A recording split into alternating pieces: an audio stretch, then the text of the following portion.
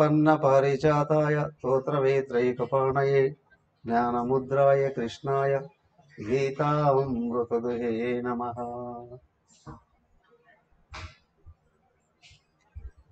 భగవద్గీత పద్నాలుగో అధ్యాయం చివరి శ్లోకానికి వచ్చాం. అంజయ్ గారు చదువుతారా? పద్నాలుగో అధ్యాయం చివరి శ్లోకం.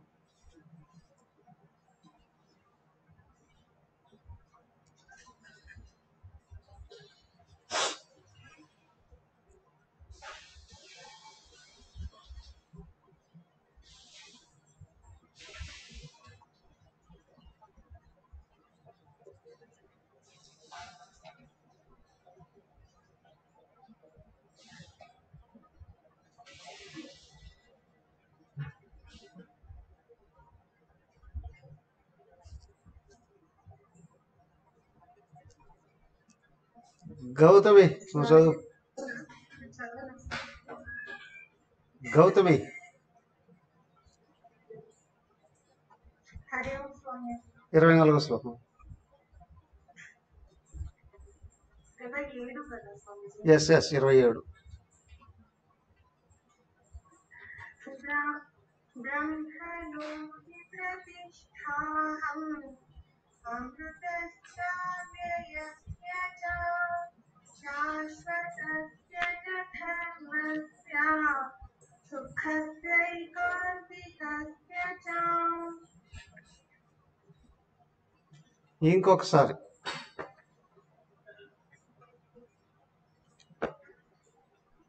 బ్రహ్మణో హి ప్రతిష్ఠాహం అమృతస్య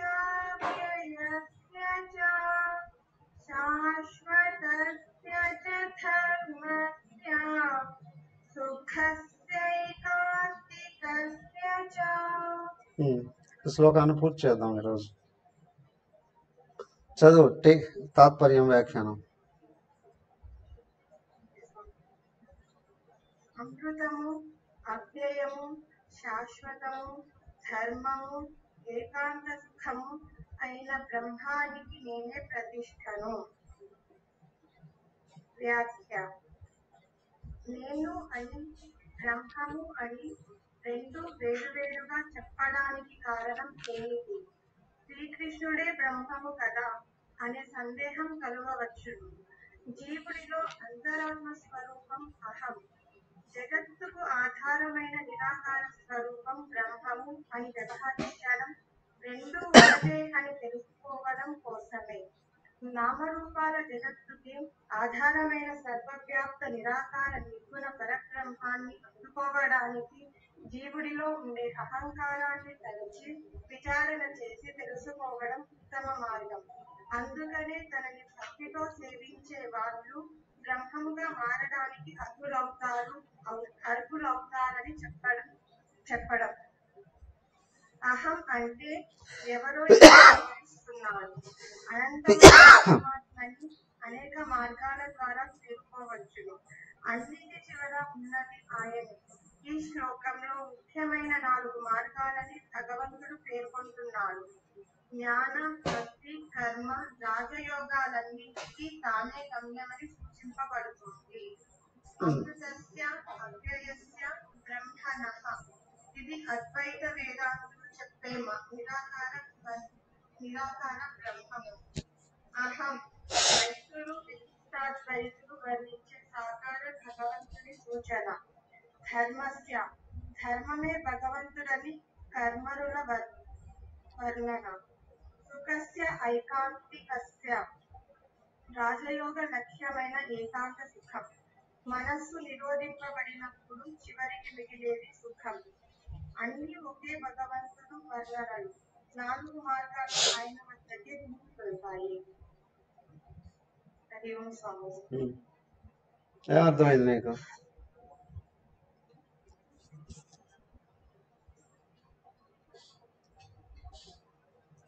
నీకేం అర్థమైంది ఈ శ్లోకంలో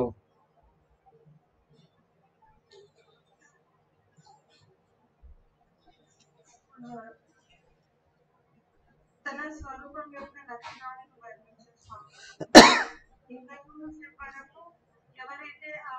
వర్ణించే స్వామి ఇంతకు అందుకోగలను ఎక్స్ప్లెయిన్ చేశారు.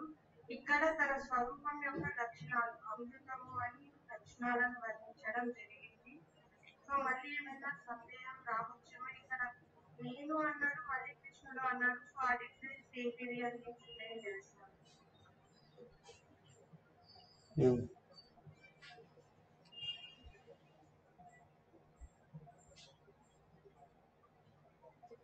ఇంకా తన స్వరూపాన్ని తెలుసుకోవడం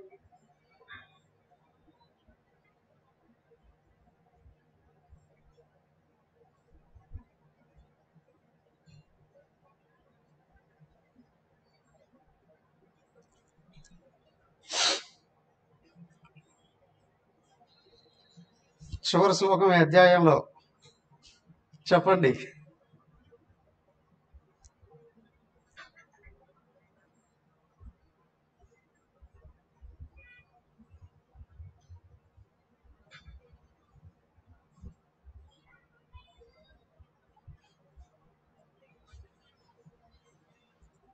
ఏం లేదా? ముగించేద్దామా?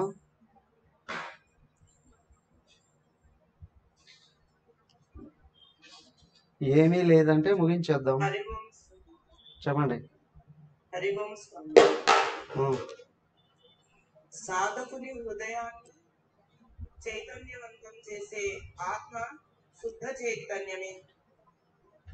అది ఎల్లడేలా ఒకే విధంగా ఉంటుంది. అది ఆనందమయం శాశ్వతము ఆనందమయం.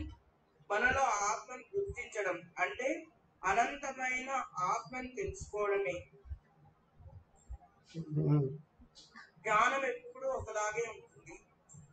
అనుభవంలో ఒక ధ్యాస తనలో ఆత్మని అవగాహన చేసుకుంటే అతడు తక్షణమే ఆత్మ యొక్క సర్వవ్యాపి సర్వ వ్యాపకత్వాన్ని అనుభవగ్రాహం చేసుకుంటాడు ఇక్కడ ఒక ఉదాహరణ ఇవ్వబడింది. గురుదేవుడిది ఒక మట్టి గుండ ఆ, చుట్టూ ఉన్న ఆకాశం కంటే వేరుగా కనపడుతుంది కానీ గుండ పగిలిపోతే కటాకాశం పరిమితం లేని మహాకాశంలో విలీనమైపోతుంది. అదే విధంగా శరీర మనోబుద్ధి తాదాత్మ్యం విడిపోయినప్పుడు అనగా అహంకారం గ్రహించినప్పుడు అనంత తత్వం యొక్క ఎరుక ఉప్పొంగి హృదయాన్ని శాశ్వత ధర్మం పరిమితం లేని ఆనందం అనే పదంతో ముంచెత్తుతుంది. ఈ విధంగా ఆ పరబ్రహ్మం తెలుసుకోవడమే. దేనికైనా మూలం ఆ బ్రహ్మమే. ధర్మమైన జ్ఞానమైన. ఇదంతా మీరు ఎక్స్ప్లెయిన్ చేశారా? చదివి చెప్తున్నారా? లేదు స్వామి నేను చదివే చెప్తున్నాను. ఏ బుక్ దీ- ఇది దీనికి దగ్గరగా ఉంది. ఏ బుక్ అది? గురుదేవుల ఎక్స్ప్లెనేషన్స్. గీతేనా? గీత ఆ, చెప్పండి. బ్రహ్మణో హి ప్రతిష్టాహం అమృతస్య అవ్యయస్య చ శాశ్వతస్య చ ధర్మస్య సుఖస్య ఏకాంతికస్య క్లియర్ క్లియర్గా చెప్పేశారు అమ్మగారు. దానికి వేదాంతం గురువు దగ్గర నేర్చుకుంటూనే అర్థమవుతుంది. గురు దగ్గర శిష్యరకం చేసినటువంటి వాడు మాత్రమే ఆచార్యవాన్ పురుషో వేద అంటారు. బృహదారణిక ఉపనిషత్తులో. జీవించి ఉన్న ఆచార్యుడు కలిగినటువంటి వాడు తత్వాన్ని అందుకోవడానికి అవకాశం ఉంటుంది.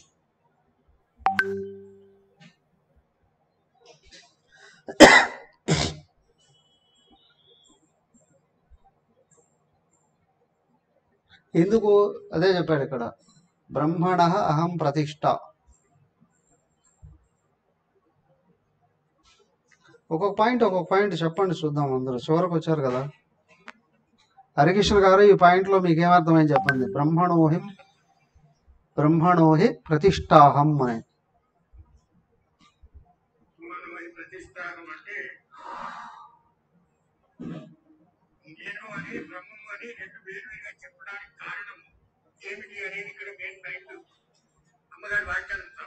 ఏమన్నారు? కాబట్టి రూపము ఆ కృష్ణుడి నామం రాకుండా ఈ జీవుల్లో ఒకటి ఉన్న అహం ఈ సర్వ జీవరాజులకు జగత్తుకు ఆధారమైన ఏదైతే పరబ్రహ్మం ఉందో దానికి ఆధారిక అహం అని చెప్పాలంటే ఆ రూపం ఉన్న గురువు చెప్తేనే ఆ శిష్యునికి ఈ స్థితి జీవస్థితి నుంచి ప్రతిష్టానం చేయాలంటే ఆ గురువు అనుభవ వాక్యాలను సాధన చెప్తుంటే క్రమక్రమం మెట్లెక్కుతూ సాధించుకున్నప్పుడు అవేగ దర్శనం అయిపోతుంది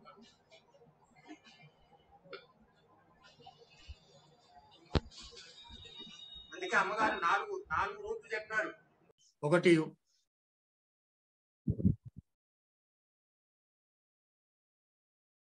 ఒకటి నిర్గుణ నిరాకార పరబ్రహ్మం అని చెప్తుంది అమ్మగారు. ఈ సగుణ సాకారందేమో నిర్గుణ దానికి ఆ ఆ నేను దమ్మం అనేది అర్థమవుతుంది స్వామి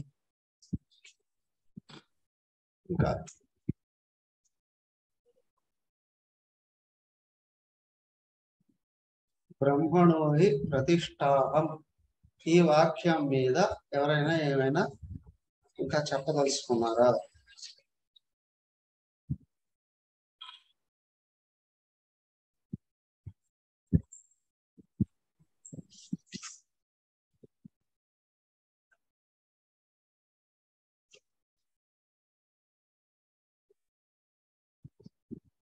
ఏం లేదా? హరివం స్వామీజీ? బ్రహ్మ అంటే అర్థం స్వామిజీ. అహం నేను నేనే బ్రహ్మాన్ని. ఆ, అని తెలుసుకోవడం అద్వైతులు వేదాంతులు అద్వైత సిద్ధాంతం ఒకటే అంతా ఒకటే అని చెప్పేదే ఇది. బ్రహ్మణోహి ప్రతిష్ట నిరాకార బ్రహ్మాన్ని. ఉన్నదంతా ఒకటే. ఇంకా? సుజనా గారు.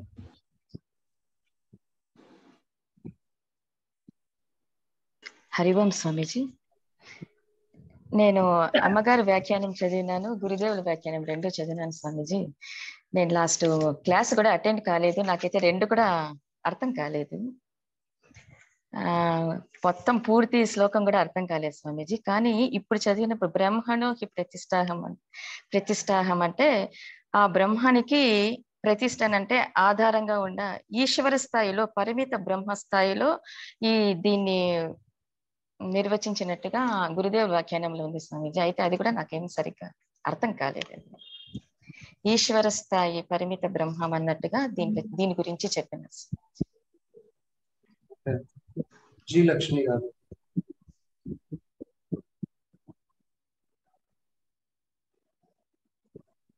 హరి ఓం స్వామీజీ.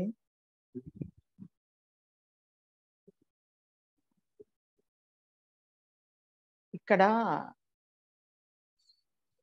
నాకు అర్థమైంది ఏంటంటే స్వామి జీవుడు అనేవాడు ఆత్మను అంటే బ్రహ్మాన్ని ప్రతిష్ఠించుకోవడం. అంటే ఇంకా అక్కడ జీవుడు ఉండడు ఆత్మనే ఉంటది. అని నాకు అనిపించింది ఇంకా తను ఉండడు జీవుడు. ఆ ఆత్మ అంటే బ్రహ్మాన్ని ప్రతిష్ఠించుకోవడం అంటే ఇంకా బ్రహ్మమే ఉన్నాడు నేను బ్రహ్మము నేను ఆత్మను అనే భావంలో ఇంకా స్థిరంగా ఉండడం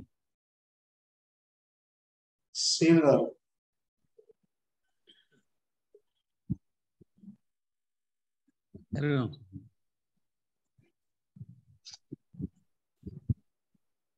ఇప్పుడు మొదటి లైన్లో సర్వానికి ఆధారమైన బ్రహ్మము భగవంతుడే. మన జీవుడిలో ఉండే అహం అనే ఆత్మ కూడా భగవంతుడే. కానీ ఇక్కడ వేరువేరుగా చెప్పినట్లు అనిపిస్తుంది కానీ రెండు ఒకటే అని తెలుసుకోవాలి. ఎందుకంటే అక్కడ బ్రహ్మ జగ సర్వ జగత్తుకి ఆధారము బ్రహ్మమే. ఇక్కడ మన జీవుడిలో మనం జీవుడు అన్నాము ఏది అజ్ఞానంలో ఉన్నప్పుడు. అది కానిపోతే అక్కడ వచ్చే ఆహం కూడా బ్రహ్మమే. రెండు ఒకటే. అని తెలుసుకోవాలి. దెన్ ఇంకెవరైనా? సురేంద్ర గారు. హరి ఓం స్వామీజీ ఇప్పుడు మొత్తం బ్రహ్మాండంలో బ్రహ్మాండం అంతా నాలుగింతలు ఉన్న ఆ చైతన్యము ఇప్పుడు ఈ జీవుల్లో ఈ- దేహంలో ఉండే చైతన్యం శుద్ధ చైతన్యం చైతన్యము ఈ రెండు ఒకటే అని ఇక్కడ ఆ కనిపించే అదంతా ఆ చైతన్యం ఒకటే అనేది ఇక్కడ నాకు అర్థమవుతుంది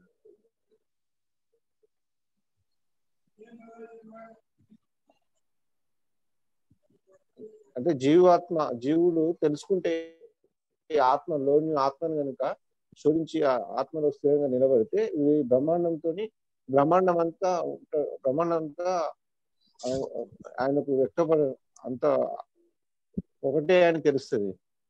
ద్వై ద్వైతము అని వెళ్ళిపోయి అద్వైతంలో నిలుస్తాడు కాబట్టి నేనే అహం నేనే అది మొత్తం అనేది రెండో లైన్. అమృతస్య అవ్యయస్య చ.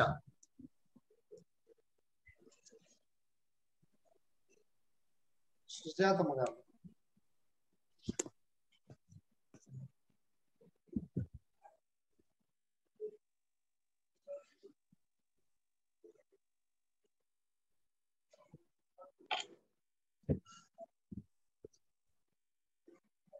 అమృతస్య చ అంటే అమృతం అంటే మృతం లేనిది అనేసి స్వామి. అవ్యయం అంటే ఇక్కడ రెండు భగవంతుడి యొక్క స్వరూపం చెప్పడం అని నేను అంటున్నా స్వామి. అమృతము అంటే మృతం లేనటువంటిది తర్వాత అవ్యయము అంటే వ్యయము కానిది అని ఎప్పటికీ ఉండేది అని.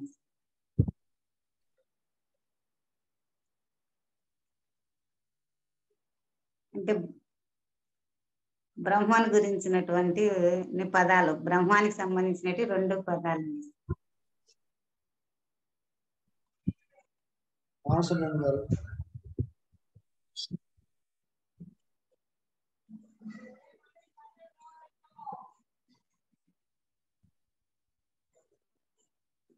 రామసుబ్బమ్మ గారు వినిపించిందా?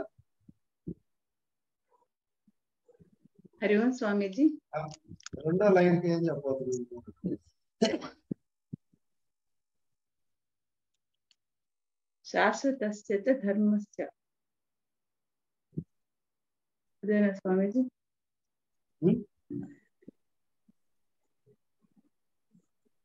అమృతస్య అవ్యయస్య చ కదా స్వామి ఎస్ ఎస్ అమృతస్య అంటే అమృతం అంటే జనన మరణాలు లేనిది అమృతం.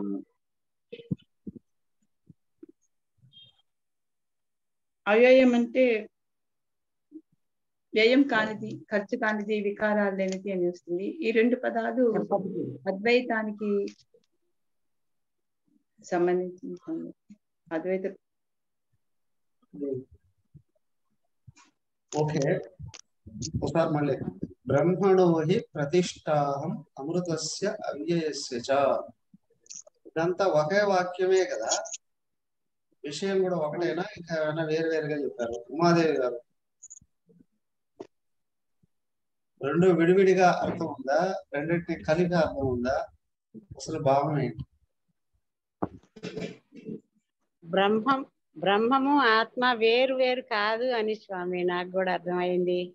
రెండు ఒకటేనని. బ్రహ్మం ఒక్కటే అనేసి. వే ఆత్మ చైతన్యము బ్రహ్మము వేరు కాదని. అంతా నేను అని చెప్తున్నప్పుడు బ్రహ్మం కూడా అదేనని స్వామి? చైతన్య.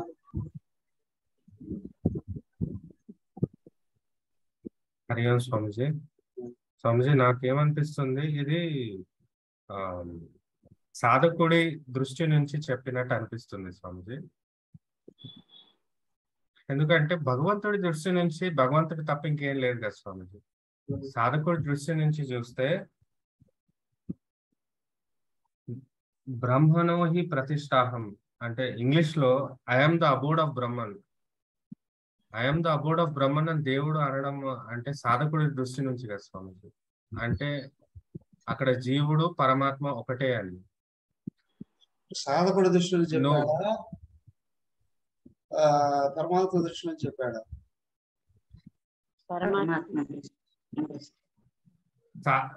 స్వామిజీ అక్కడ ఐ ఇంకా బ్రహ్మన్. నేను ఇంక- బ్రహ్మన్ అనే ఆ రెండు పదాలు వాడడం వల్ల యాక్చువల్గా రెండు I am the about of Brahman అని ఇంగ్లీష్లో ట్రాన్స్లేషన్ ఆ, ఏంటి అర్థం ఏంటి I am I am the about of Brahman అని అన్- రాస్తుంది స్వామి అండ్ అంటే నేను బ్రహ్మన్ అయి ఉన్నాను అని. ట్రూ ట్రాన్స్లేషన్ ఏంటి? నేనే బ్రహ్మన్ అయి ఉన్నాను అని. కదా. స్వామీజీ. అంటే ఇప్పుడు సాధకుడు చెప్తున్నాడా? పరమాత్మ చెప్తున్నాడా? పరమాత్మే చెప్తున్నాడు స్వామీజీ. ఓకే. సరే. ఏం చెప్పబోతున్నారు దీని గురించి? ఇంకెవరైనా?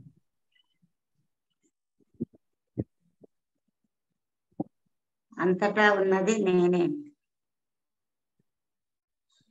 అంటే పరమ లక్ష్యము నేను అని చెప్తున్నారు స్వామీజీ ఇక్కడ. అల్టిమేట్ గోల్ ఆయన నేను అని సంబోధించినటువంటిది ఏ యాంగిల్ నుండి చెప్పాడు? హరి ఓం స్వామీజీ. ఇంతకు ముందు వరకు గుణాలను దాటిన వ్యక్తి అని చెప్పారు కదా స్వామీజీ. ఎప్పుడైతే వ్యక్తి గుణాలను దాటుతాడో అంటే అప్పుడు ఈ దేహ మనోబుద్ధులకి అతీతంగా ఉన్న పురుషుణ్ణి నేను అంటే ఈ దేహానికి వీటికి అన్యంగా ఉన్నది నేను అహం. ఆ అహమే ఈ సర్వ జగత్తుకి కూడా ఆధారమైన బ్రహ్మ. ఇప్పుడు వరకు గుణాలను దాటిన వ్యక్తికి అతను దేహ మనోబుద్ధులకు అన్యంగా ఉన్నాను అని తెలుస్తుంది. అదే అన్నిటికీ ఆధారంగా ఉన్నది అనేది కూడా నెక్స్ట్ చాప్టర్కి కనెక్షన్ ఇస్తున్నాడు. నెక్స్ట్ చాప్టర్లో కూడా పురుషుడు పురుషోత్తముడు. పురుషుడు అని తెలుసుకు ఆ పురుషుడే పురుషోత్తముడు అని ఎవరైతే తెలుసుకుంటారు అని చెప్తారు స్వామీజీ. ఇది నెక్స్ట్ చాప్టర్కి కనెక్షన్ పాయింట్ లాగా నాకు అనిపించింది స్వామీజీ. గుణ ఇంకొక స్టెప్ గుణాతీతుడు తను దేహమనబుద్ధులు కాకుండా అన్యంగా ఉన్నది నేను అహంని నేను అని తెలుసుకున్న తర్వాత ఇంకొక స్టెప్ ఎక్కువ సర్వానికి ఆధారమైనది కూడా నేనే నా స్వరూపమే అన్నిటికీ ఆధారంగా ఉన్నది అని గ్రహించగలగడం అనుకున్నాను స్వామి ఇంకా ఎవరైనా ఏమైనా డిస్కషన్ జీవుడు అన్నప్పుడు క్షరపురుషుడు అవుతుంది. హరియాం హరియాం ఇక్కడ చేసుకున్న విషయాన్నే చేయండి. ఇక్కడ రెండు తీర్లు ఒకటి సగుణ ఒకటి సగుణ బ్రహ్మం వస్తుంది ఒకటి నిర్గుణ బ్రహ్మం వస్తుంది ఒకటి జీవుడికి వస్తుంది. నేను అనే దానికి. అక్కడ ఈశ్వరుడు అనే దానికి సగుణ బ్రహ్మం. స్వామి? అది కాదుయా ఈ రెండు లైన్లు కలిపి ఒక వాక్యం ఈ వాక్యం మొత్తం మీద భావం ఏంటి?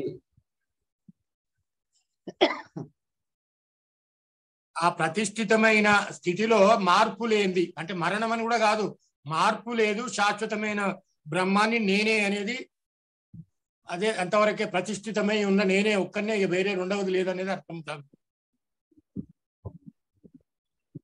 ఇప్పుడు బ్రహ్మ దృష్టిని చెప్పారు ఒక జీవుడి దృష్టిని చెప్పాడు. అంటే భగవానుడే చెప్తుంటారు స్వామి ఇది ఇక్కడ భగవాను ఉవాచనే వచ్చింది. జీవుని దృష్టి కాదు భగవానుడు ఆ స్థితిని చెప్తుండ అంతే. ఇప్పుడు దాని నుండి మనం ఏం గ్రహించాలి? మనం అది అందుకోవాలి అంతే. ఆ- స్థాయిని అందులో లీనమైపోవాలి. జీవభావం నుంచి సాధన. మొదటి ఏమని అర్థం చేసుకోవాలి? ఏ మురికి ఉంది దాన్ని తొలుచుకు తొలగించుకోవాలి స్వామి. హరివంశం ఆ. స్వామీజీ ఇప్పుడు అద్వైతంలో చెప్పబడిన నిరాకార బ్రహ్మం అనేది ఆయనే. ద్వైతంలో చెప్పబడినటువంటి సాకార బ్రహ్మంలో ఉండేది ఆయనే. ధర్మము జ్ఞానము అని చెప్పబడే దాంట్లో జ్ఞానము ఆయనే. అట్లనే ఈ కర్మ నిష్కామ కర్మలో చెప్పబడిన ఆ ఏకాంతం అంటే అన్నిటిని వదిలేస్తే వచ్చే ఆ ఏకాంతంలో నిలిచేది కూడా ఆయనే. ఈ అంతా వాక్యం. బ్రహ్మమే నాలుగే. హలో మొదటి వాక్యం మాత్రం. మొదటి వాక్యం ముందు అర్థం చేసుకుంటే రెండో వాక్యంలో తర్వాత అదే స్వామీజీ ఇప్పుడు ఫస్ట్ మనం నిరాకారంలో ఉండే బ్రహ్మము సాకారంలో ఉండే బ్రహ్మము రెండు నేనే అని చెప్తున్నాడు. వాటికి అమృతస్య అవ్య అవ్యయస్య అంటే అవి ఆ బ్రహ్మం అనేది దానికి నాశనం లేనిది మరియు రిలేటెడ్ అది అవి వ్యయం కానిది. అంటే వికారాలకి దానికి లోన్ చెందంది అనేది చెప్పచ్చు. ఇక్కడ అంటే సాకారం నిరాకారం గురించి చెప్తున్నాడు అని అంటారు.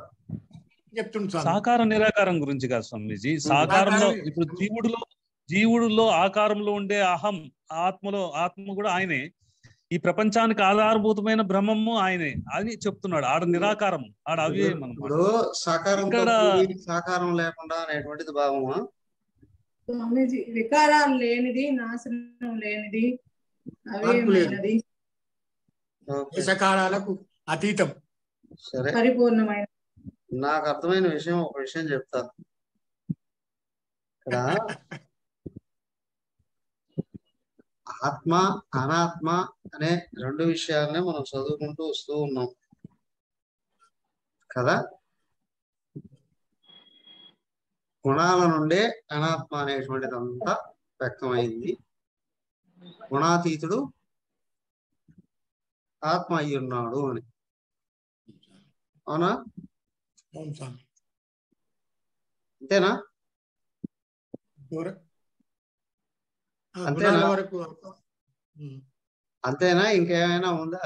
ఈ రెండో జ్ఞాన శక్తంలోకి వచ్చిన తర్వాత పదమూడు పద్నాలుగు అధ్యాయంలో గుణాల నుండి అనాత్మ వ్యక్తమైంది. శరీరం బుద్ధులన్నీ కూడా ఉపాధులన్నీ. బట్ ఈ ఈ అనాత్మక ఆధారం ఆత్మ ఉంది. అయితే ఆత్మ గురించి తెలియని వాడు అనాత్మను అని అనుకుంటూ ఉన్నాడు.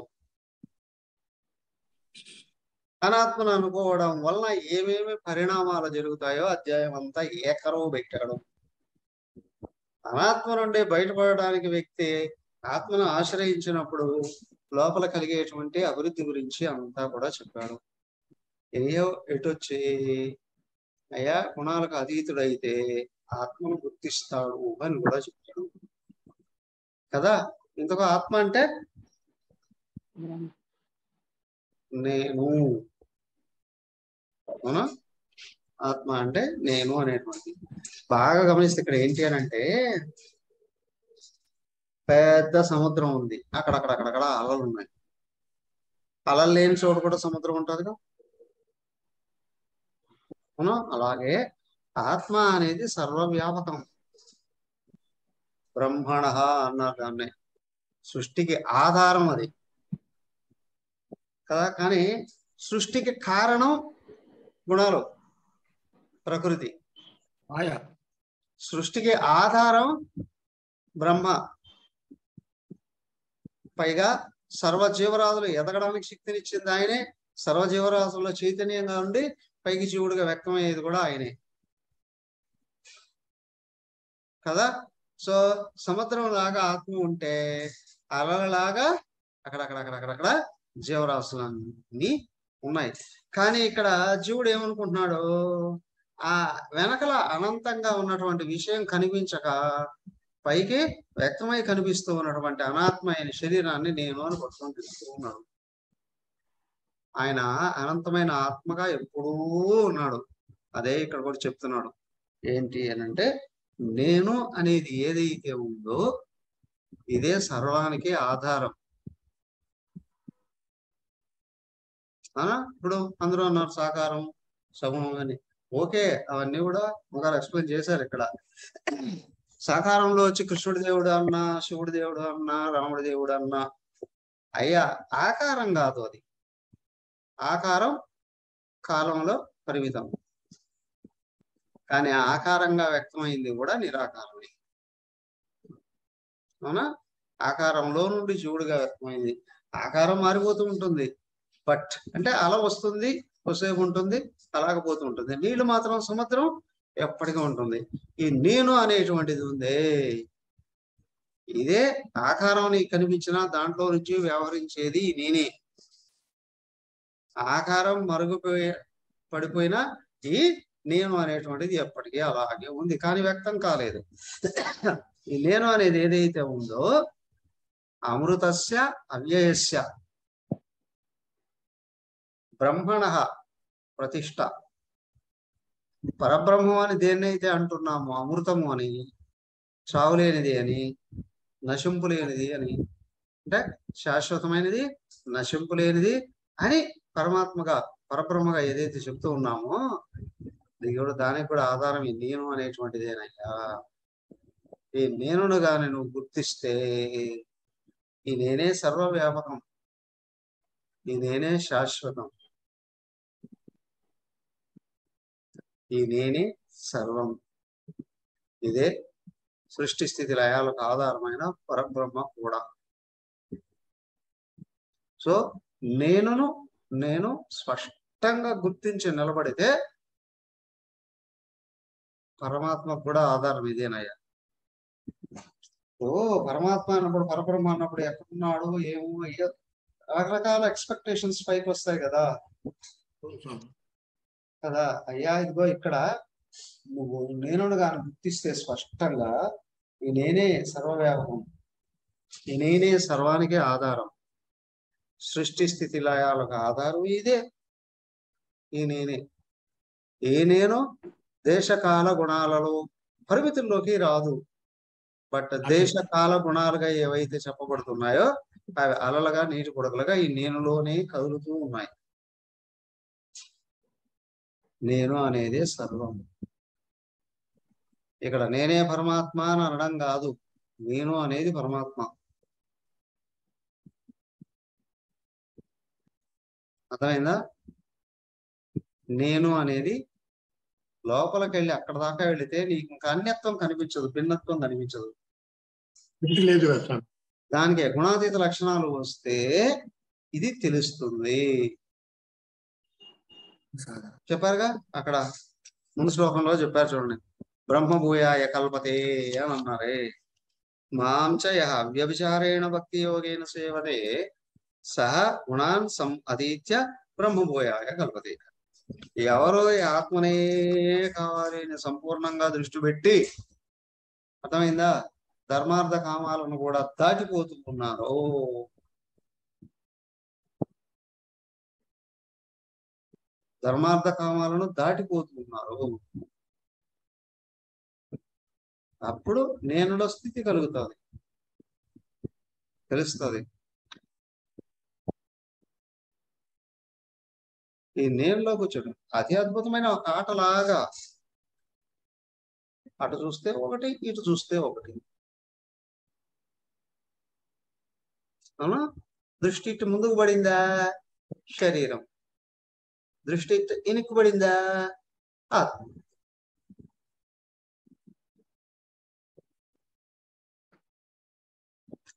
ఒకటి మాత్రం గుర్తుంచుకోవాలి. దేహంలో ఆత్మ ఉంది. దేహం ఆత్మకు అన్యంగా లేదు. కానీ దేహం ఆత్మ కాదు.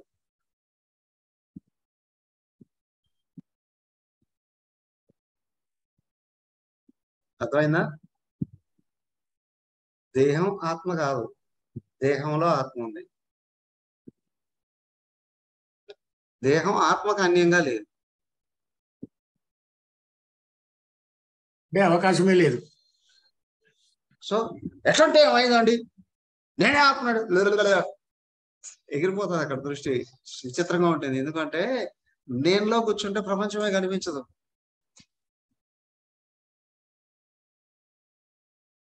ఒకవేళ కనిపించిన కళ ఒక చిన్న కళ నీళ్ళలాగా అయిపోతుంది.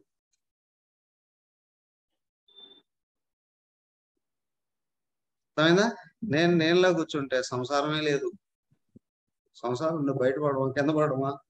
మునిగిపోవడమా? తరించమా? ఇవన్నీ ఏమీ లేవు. ఎందుకంటే ఇవన్నీ దేహానికి సంబంధించినటువే దేహదాత్మ్యం కూడిన అహంకారం భావిస్తుంది. దేశకాల గుణాలలో లోబడి దేహభావం వ్యక్తం చేస్తుంది. కానీ ఇక్కడ వెనక్కి వచ్చే కొద్ది వెనక్కి వచ్చే కొద్ది వెనక్కి వచ్చే కొద్ది దృష్టి వెనక్కి వెళ్ళే కొద్ది దృష్టి నేలలో నిలబడుతుంది అంతే.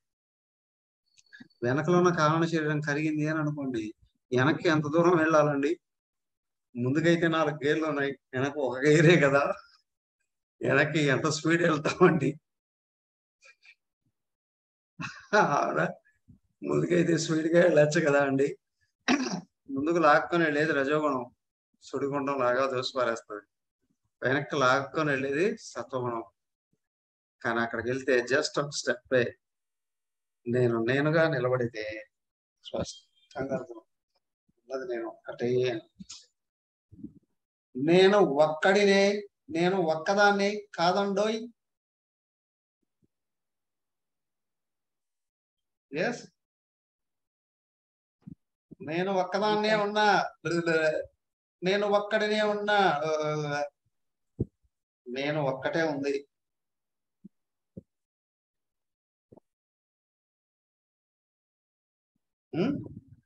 స్త్రీ పురుష అతీతమైన తత్వం.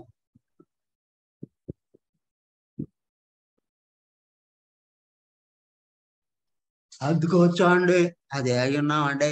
దిగజారిపోకండి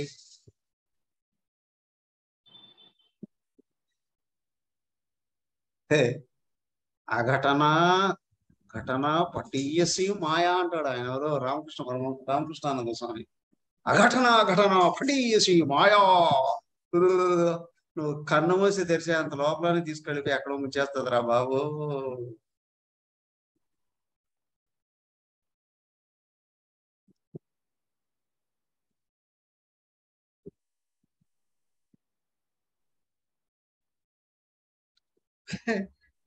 మేము బ్రహ్మచారి వచ్చేసేటప్పుడు మా మాకంటే ఎవరో సీనియర్ ఒక ఆయన ఉండేవాడట ఎప్పుడో దెబ్బలాడుతూ ఉండేవాడట డ్యూటీలు ఉన్నాయని అనుకోండి.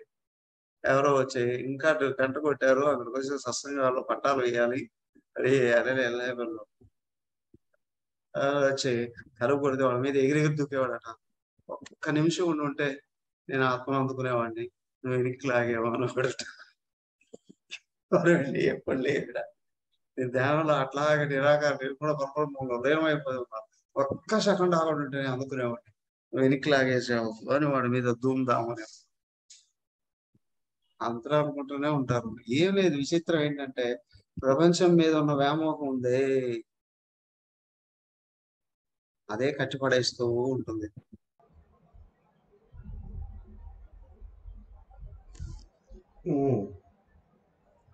పుత్ర దార గ్రహాదిశో అసంగ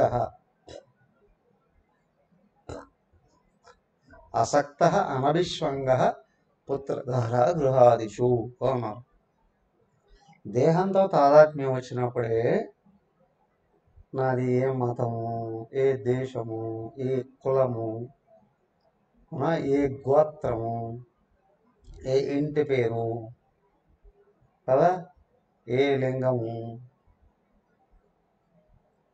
ఏ గృహం ఇంట్లో ఎంతమంది ఉన్నారు? నేను భార్యనా భర్తనా కొడుకునా కూతురునా? ఇవన్నీ తగులుకునేది ఎక్కడ? అనాత్మతో తర్వాత చూస్తూనే బుక్మని లేస్తాయి ఇవన్నీ. ఎక్కడ లోపల ఆత్మతో తాదాత్మ్యం చెందిందో తక్కువన పడిపోతాయి అవన్నీ ఇప్పుడు మనల్ని మనం మర్చిపోయాం కళ పైకి లేచింది. నువ్వు మేలుకున్నావు టాప్ టప్మని పడింది. అలాగే వెనకలు ఉన్న ఆధాత్మ ఆత్మ సాధాత్మ్యం వచ్చింది బయట ఏమీ కనిపించింది. ఆ? అనాత్మతో తాదాత్మ్యం వచ్చింది అన్ని మళ్ళీ పైకి వేస్తాయి ఆ ఆత్మలో కూర్చొని వదిలు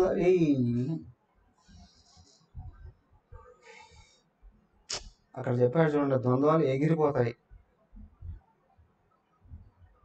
ఆ? ద్వంద్వాలు పోయి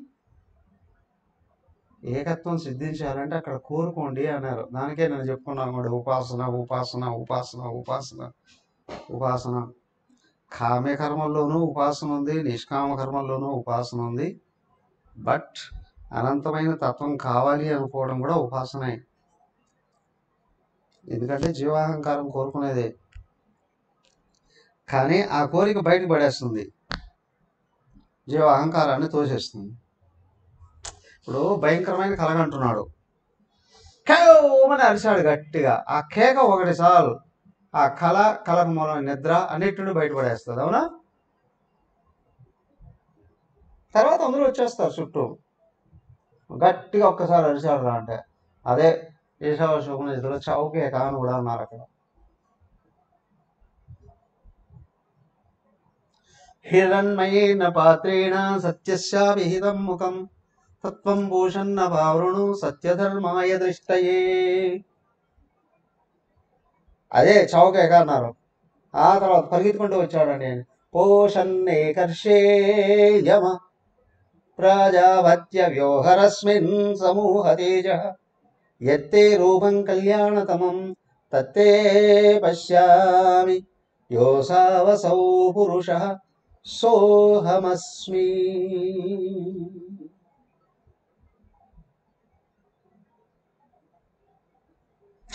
అదే చూడండి ధ్యానంలో పరాకాష్ఠలోకి వెళ్ళినప్పుడు అది ఆ స్థితి ఆ తీవ్ర స్థితి ఎక్కడైతే వచ్చిందో తీవ్ర భక్తి ఎక్కడైతే వచ్చిందో అడుగడుగున వ్యవహారాల్లో కూడా నిలబడుతుంది. క్లాస్ చెప్పి ఉన్నా నిలబడుతుంది. క్లాసు వింటూ ఉన్నా నిలబడుతుంది పని చేస్తూ ఉన్నా నిలబడుతుంది మందులో మందిలో ఉన్నా నిలబడుతుంది పరిగెత్తుతూ ఉన్నా నిలబడుతుంది వాకింగ్ చేస్తూ ఉన్నా నిలబడుతుంది అన్నం తింటూ ఉన్నా నిలబడుతుంది. లోపల కారణశీలం కరిగిపోతూ వస్తే సహజం అవుతుంది సహజం అవుతుంది అర్థమైనా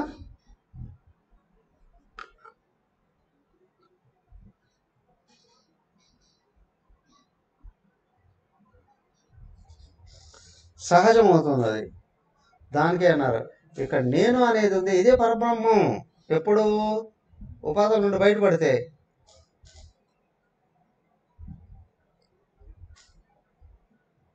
సర్వవ్యాపక పరబ్రహ్మం ఏదైతే ఉందో సర్వజీవరాశుల్లో నేనుగా వ్యక్తం అవుతుంది కానీ ఏమవుతుంది? గుణాలు ముసిగేసేస్తున్నాయి వారికి. గుణాలు ముసుగేసేసి దేహం నేననే భావన పైకి దానికే అన్నారు అక్కడ ఆవరణ విక్షేపాలండి అని. తమోగుణం అసలైన తత్వాన్ని మూసేస్తుంది. రజోగుణం విక్షేపాలను పైకి తీస్తుంది అంటే రజోగుణం అంతా ఆలోచనలే. మొదటి ఆలోచన నేను ఈ దేహం అని అనుకోవడం. తర్వాత ఆలోచనలు ఈ ప్రపంచంలో చుట్టూ ఉన్న వాటితో అన్నిటితో సంబంధాలు. దానికి నీవు రజోగుణం అంటే విక్షేపాలు ఆలోచనలుగా ఆపేవా నువ్వు అదే. ఆలోచనలు ఆపేటప్పటికి చాలా మంది అంటారు దేవం చేస్తుంటే దొరుకుతుంది అని తమస్సు కలిగితేనే ధ్యానంలో ఆత్మస్థితి వస్తుంది. తమస కలగకుండా అది రాదు. ఏ నాకేం తమస లేదు. తమస ఆవరణ నేను దేహం అని అనుకోవడమే. తమస అంటే ఏదో సోమరతనమో బడుద్దాయతనమో నిద్ర గిద్ర ఇవన్నీ ఏం కాదు. దేహం నేనైనా భావమే.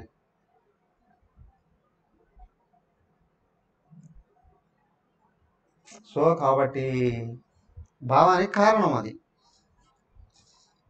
సో అమృతస్య అవ్యయస్య బ్రహ్మణ అహం ప్రతిష్ట. నువ్వు ఒక సూచన ఏంటి అంటే ఈ నేనను గుర్తిస్తే నీకు అది తెలుస్తుంది అనేటువంటిది ఒకటి. అయ్యా నువ్వు దాన్ని అందుకోవాలి అని అనుకుంటే ఈ నేను దగ్గరకు వెళ్ళాలి అనేది రెండు. అవునా? అయ్యా ఈ నేనేనయ్యా అది అనేది ఫైనల్.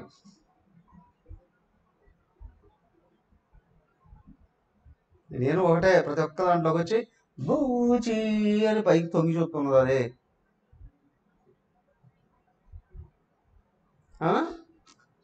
పిల్లలు ఆడుకుంటూనే తల్లి కూడా ఆడేస్తుంది కదా బూచి అంటుంది. ఆ తల్లి ఏం చేస్తుంది? వాడు చెప్పిన మాట వినకపోతే నేను బూచోడుకు పట్టిస్తాను రోయ్ అంటుంది. అవునా? ఎవడు బూచోడు అంటే? ఎవరు బూచోడు అంటే? దయ్యమో రాక్షసుడో భూతం కదా? ఇప్పుడు ఈ తల్లి బూచి అంటుందిరా అంటే ఇప్పుడు ఈమె రాక్షస? దైవమా? భూతమా? చెప్పండి. కదా? ఆవరణ ఉంటే ఇదే భూతం. ఆవరణ పోతే బూచి అనే విషయం ఏంటి అంటే అక్కడ ఇంతవరకు కనిపించుకుంటా ఉండి ఇప్పుడు కనిపించింది అని. భావం. అవునా? రే ఆ తెల్లకు బూచోడు ఉన్నాడు. అంటారు. ఆ, నీళ్ళ ఆవరణ కానీ వెళ్ళకపోతే బూచోడు నువ్వు. నీళ్ళ ఆవరణ కానీ తొలగిపోతే ఆలోచన ఆపితే చాలు. దోచేన ఆయన వ్యక్తం నీ రూపంలోనే. నీ స్వరూపంగా. అమృతస్య అవ్యయస్య చ బ్రహ్మణ. అహం ప్రతిష్ట నేనే. ఆ పరబ్రహ్మానికి ఆధారము అని అంటున్నాడు ఆయన.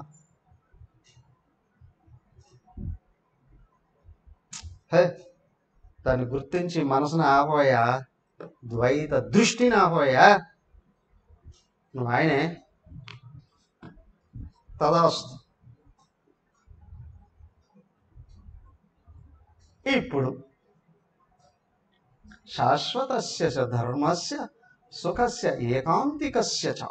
ఈ రెండు వాక్యాలు రేపు చర్చించుకుందాం హరిం ఓం సర్వే భవంతు సుఖిన సర్వే సంతు నిరామయా సర్వే భద్రాణి పశ్యంతు మా కశ్చిత్ దుఃఖభాగ్ భవీత్. ఓం శాంతి శాంతి శాంతి. హరి ఓం శ్రీ గురుభ్యో నమ. హరి ఓం